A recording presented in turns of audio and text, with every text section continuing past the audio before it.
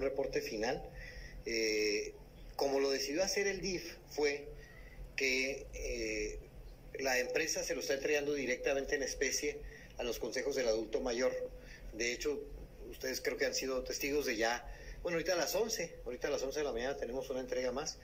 aunque Rubí es la que ha estado entregando en la gran mayoría de los consejos, eh, desde sillas, sombras,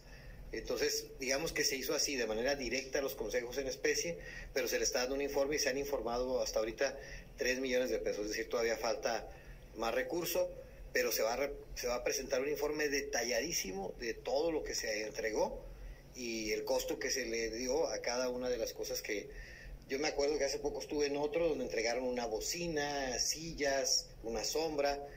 y, son 80 los consejos que van a ser beneficiados, 80 consejos del adulto mayor.